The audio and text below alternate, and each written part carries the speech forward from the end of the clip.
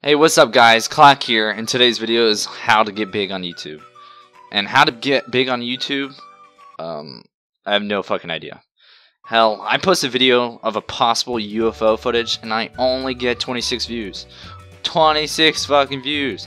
Now, I'm sure tags and titles and content matter, but at this point, I feel like I'd pull my dick out for Harambe and get zero views.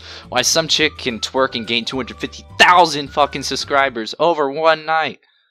Now, this is just me, but I think that's a little bit fucked.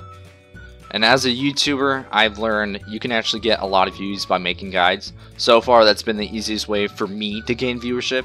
Now, if you're going to make a Let's Play video, good fucking luck. I hope you like getting 10 views for a video that you spent 6 to 8 hours on editing.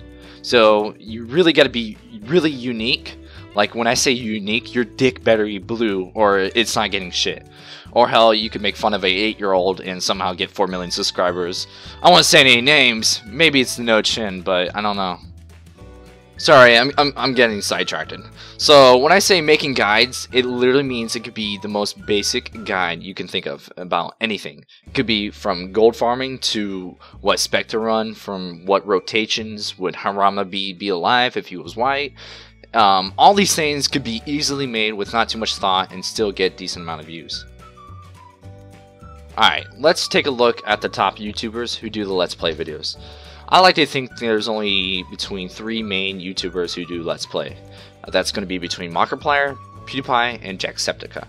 Now, you must ask yourself, what's the difference between you and Harambe? Again, this is what makes you unique, so you better have a blue dick. Markiplier has a voice of a god, so he literally can say anything and do anything and make a girl wet. And Jacksepticeye, he's a guy who uses drugs before every video, which explains why he's more active than an 8-year-old kid with ADHD that's also high on drugs. And PewDiePie, well, he makes us all cringe in a very special way, and that's very hard to come by. And for some fucking reason, you can do videos on reviewing and unboxing. Literally, you can get a crazy amount of views. You could unbox a Barbie Dreamhouse 2.0 and get 2.1 million views. 2.1 fucking million views on a fucking Barbie doll house. Excuse my French. Damn it. Maybe I should just quit my job, start ordering Barbies. Who the fuck is gonna judge me if I'm making 5,000 off of every video? For fucking unboxing Barbies. No one. Alright, time to wrap things up. Uh, just basically, YouTube life isn't easy. You must be willing to put a lot of hours, a lot, a lot, a lot of hours of work in just to get shit on by every viewer and every comment that you see in your videos. But getting shit on makes you grow, so really take it in, learn from those experiences, and you know, try not to get shit on. Pretty much, that's that's that's the main goal here. Peace out, love ya, good luck.